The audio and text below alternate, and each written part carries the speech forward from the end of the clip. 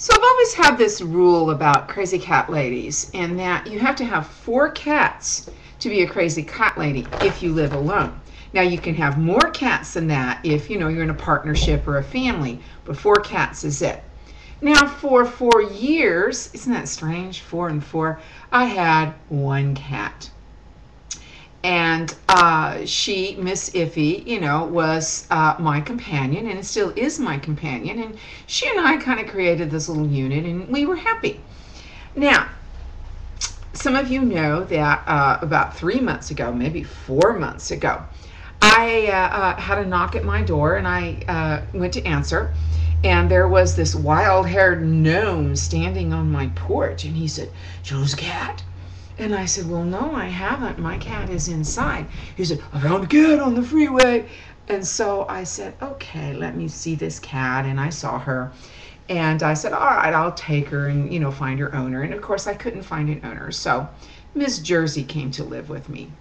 Now, I named her Jersey, by the way, because, um, oh, this is so embarrassing, because she's black. Uh, excuse me, she's white with black spots. And I thought that Jersey cows were white with black spots. And so she became Ms. Jersey. I uh, subsequently found out that um, Jerseys are kind of a tan color and it's Holsteins that are uh, white with black spots. But you can't call a cat Holstein, so she remained Jersey.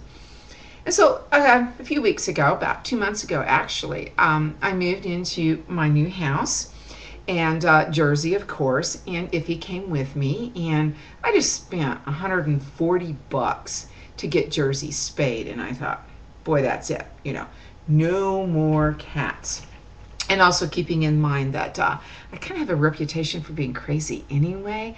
I don't need to be known as the crazy cat lady, which uh, was going along pretty good, except uh, last week I went outside to sit on my porch in the evening. It was a very nice night. And, you know, I was talking to my neighbor that lives across the street, not Bob, the 200 year old man, but the other uh, neighbors. And as I was sitting there, I heard uh, meow, meow, meow out in the field that away. And it's not really a field, but I call it the field next to my house. And I thought, my, my quick witted brain immediately says, oh, that's a cat. And yes, there were two cats out there. There were two kittens, probably about, I don't know, three or four months old. And they ran like crazy from me. They weren't going to have anything to do with me. But when I came back to the, I sat out there for a while. When I came back to the house, they followed me. And yes, I fed them. I have a heart. Only a heartless person could look at these two little kitties and say, No, I will not feed you. So, yeah, I have four cats now. Now, these cats are going to be outside cats. They're both males, and so I don't have to need to worry about getting them, getting them uh, neutered like immediately in order to avoid to have kittens. But of course, I will have them neutered and get their shots. And yeah, I, you know, I've made a half-hearted attempt to find uh, their owners, but come on, let's get real. These cats don't have owners. These cats were dumped out there, poor little babies. So what does that make me? Hmm. Does it count if they're like outdoor cats? Does that count towards making me the crazy cat lady?